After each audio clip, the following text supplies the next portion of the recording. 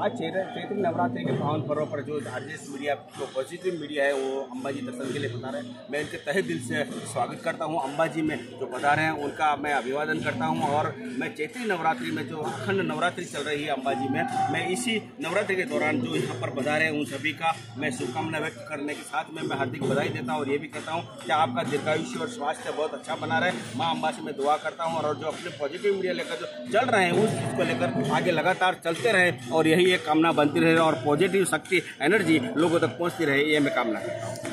महेंद्र जी, आपको बहुत बहुत बधाई हो कि नवरात्र के अवसर पर आप मिले हैं और मीडिया कर्मी हैं और कई सारे चैनलों से जुड़े हैं आप। तो अम्बा जी मंदिर के बारे में कुछ बताइए, क्योंकि यहाँ आप लगातार आते हैं? हाँ जी, अंबाजी मंदिर के बारे में बताऊँगा तो करीबन ये 1200 साल पुराना, यानी 1200 साल पुराना अंबाजी मंदिर माना जाता है, जो कि दाता स्टेट के राजीव परिवार थे भवानी सिंह जी थे, जसराज जी थे, उनके द्वारा माता जी की मंदिर की स्थापना की गई है। और आपको मैं बताऊँ, ये संगे मरमर का मंदिर जो बना हुआ है, जो 95 में और 75 में इसका रिनोवेशन स्टार्ट हुआ था नया, उसके बाद ये मंदिर अभी बड़ा आराधक बन चुका है। और फ़िलहाल इस पर कहूँगा, इसका जो मुख्य शिखर है, मुख्य शिखर पे करीबन 140 किलो सोने की लागत से इसका स्वर्ण शिखर बना हुआ है और इसका दूसरा फ़ेज़ जो है 240 किलो की लागत से बनने जा रहा है। इसकी भी मंजूरी सरकार ने दे दी है और फ़िलहाल मैं कहूँगा आने वाले समय में इक्यावन शक्तिपीठों में से पहला ऐसा है कि शक्तिपीठों का जो स्वर्ण मंदिर कहलाया जाएगा। पंजाब में जो अमृतसर में एक स्वर्ण मंदिर है, जो उनका जो कहते हैं कि सरदार जियों का जो पूरा मंदिर है, उनका वो है और शक्तिपीठों में से एक अकेला ही ऐसा एक मंदिर होगा कि जो यहाँ पर अंबाजी मंदिर में गुजरात में स्थित है। कुछ बताना चाहें, ये हम लोगों का ब्रह्म कुमारी जी आश्रम माउंट आबू से ये आध्यात्मिक यात्रा जो है, वो अंबाजी मंदिर गुजरात पहुँची है। तो ये इसका भौगोलिक स्थिति बताएँगे। हमारे जो और आर पॉजिटिव मीडिया फैमिली के जो लोग हैं, गुजरात में भी हैं बड़ोदरा गुजरात से प्रफुल्ल भाई सेठ और रंजन बेन सेठ जी।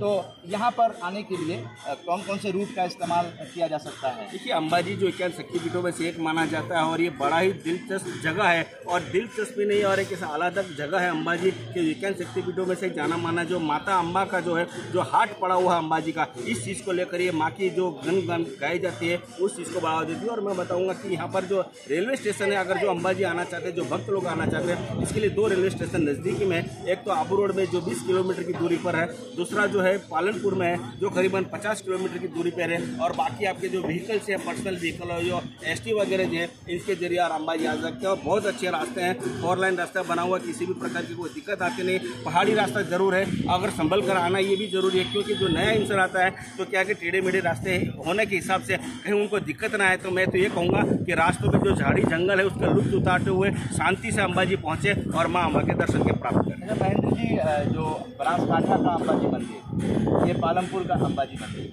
है ना? जी। तो यहाँ से फिर बनासकांठा के अंबाजी मंदिर का देखिए मैं बताऊँगा अंबाजी एक पूरी चीज़ अलग है ये शक्तिपीठ है और शक्तिपीठ में से जाना माना ये देश विदेश में जा, जाना माना है। मैं बताऊँ जिस तरह से इक्यावन शक्तिपीठ है जो देश यानी भारत में नहीं नेपाल में है श्रीलंका में है पाकिस्तान में है हर एक जगह बिखरा हुआ जो इक्यावन शक्तिपीठ है वो इक्यावन शक्तिपीठ की शक्ति अंबाजी में स्थापित की गई है। यहाँ पर इक्यावन मंदिर बनाए गए हैं और एक अंबाजी एक पूरी अलग जगह जो बनासकांठा डिस्ट्रिक्ट है जो डिस्ट्रिक्ट का प्लेस जो डिस्ट्रिक्ट प्लेस पालनपुर पड़ता है और बनास नदी के किनारे पे बसा हुआ पूरा डिस्ट्रिक्ट है इसी के हिसाब से ये बनासकांठा कहा जाता है। और बनासकांठा राजस्थान के बॉर्डर से करीबन चार किलोमीटर की दूरी पे पूरा ये अंबाजी नगर यानी अंबाजी शक्तिपीठ बसा हुआ है। यहाँ पर अगर श्रद्धालु आते हैं तो कब से कब मंदिर दर्शन कर सकते हैं? जिस तरह से आप बता रहे हैं कि अंबाजी जो दर्शन करना चाहते हैं बहुत अच्छी तरह से आप आइए आराम से स्वागत है।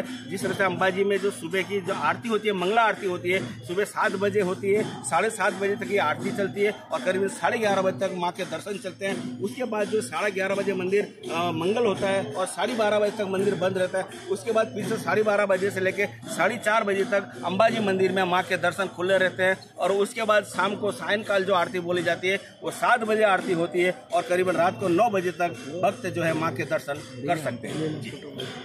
तो आपका बहुत बहुत धन्यवाद और बधाई हो कि आपने बहुत दिल से जो है आर पॉजिटिव मीडिया फैमिली का स्वागत किया है और अनायास ही मीडिया कर्मियों की जो एक भावना होती है वो रिफ्लेक्ट हुई है। और यही पॉजिटिविटी पूरे देश में फैलाना चाहते हैं। आपके कैमरामैन को भी चाहेंगे कि एक बार फ़ोटो सेशन में आ जाएँ और हम लोग एक फ़ोटो सेशन भी कर लें।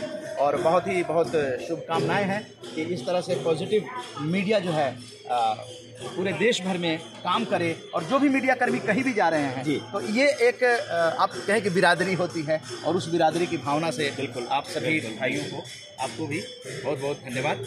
और वर्किंग जर्नलिस्ट ऑफ़ इंडिया के वाइस प्रेसिडेंट होने के नाते भी आपका हम बधाई देते हैं जी, जी। कि आप जैसे पॉजिटिव लोग जो। कि मीडिया कर्मी नाम सुनते ही जिस तरह से आपने स्वागत किया है तो इसके लिए तो मैं पूरी आरजेएस जो 25 राज्यों की हम लोगों की फैमिली है उनकी तरफ़ से भी आप दोनों लोगों को बहुत बहुत बधाई। धन्यवाद बहुत बहुत जय हिंद। जय हिंद। जय माता जी जय जय हिंद। जय हिंद।